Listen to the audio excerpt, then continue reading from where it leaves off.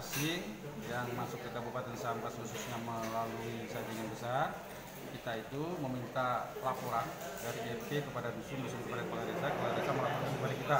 Ada yang secara lisan, lebih banyak yang secara lisan karena uh, kita tidak sampai ke sana.